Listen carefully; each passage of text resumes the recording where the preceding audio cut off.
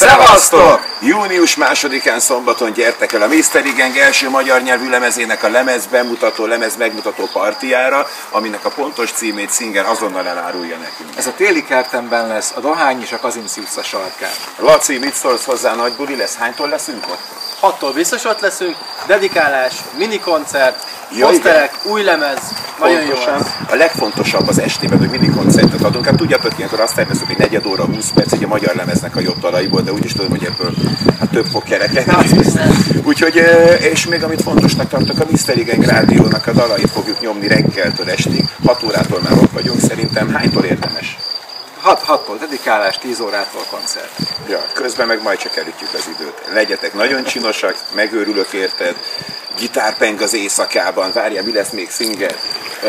Dzsungelláz. Azonnal, hogy dzsungelláz, városi dzsungel, ritmusa lüktet, nem érlekel, nem érlekel, hiába hívlak, hallgat a telefon, na gyertek el, hatalmas buli lesz, gyertek Misterire szombaton, de ez még nem a lemez bemutató koncert, lesz arról majd később. Gyertek fiúk, indulunk!